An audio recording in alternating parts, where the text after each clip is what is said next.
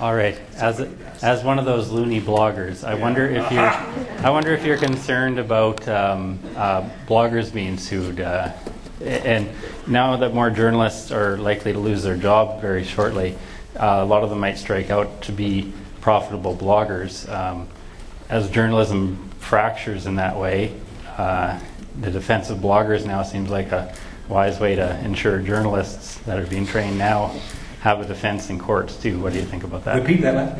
Uh, well, if, if you defend bloggers now, then journalists of today who may become bloggers of tomorrow, the professional bloggers, they'll have a better chance in the courts.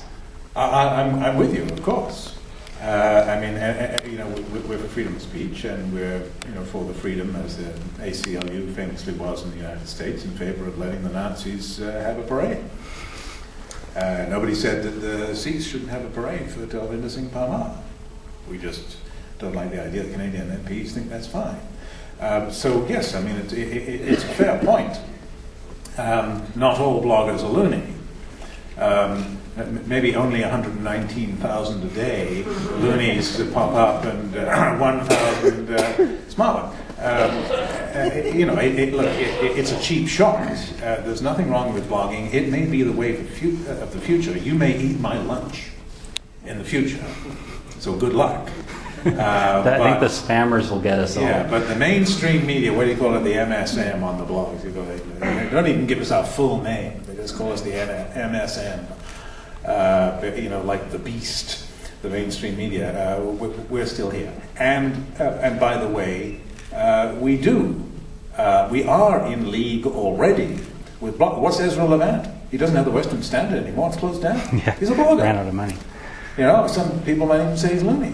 But we are in league with him, are we not? I mean, the, the mainstream media was definitely weighing in, on, in in his corner, was it not, in his battle with the Alberta human rights scrofulous people's bureaucracy, right?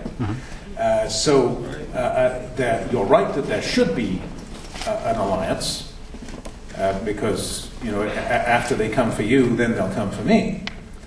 Where I differ with you is that I think that alliance is already relatively healthy. Uh, We, we call you loonies, but we, we really love you. Thank you.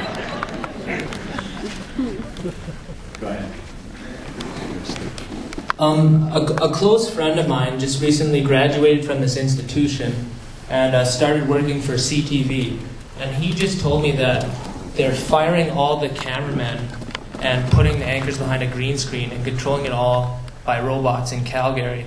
And I'm wondering, is this kind of the the future of the newsroom, or Not even local robots?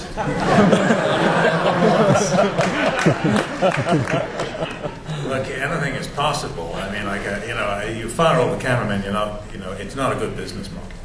Uh, TV news without pictures, you know, green screen, what are they going to put on the green screen? Slides? I mean, I think it's a like a fake newsroom, so they don't have to have all Yeah, the where people is this, actually by the working way? back there. Uh, CTV, I believe it is. where? In Toronto? Um, well, here in Regina.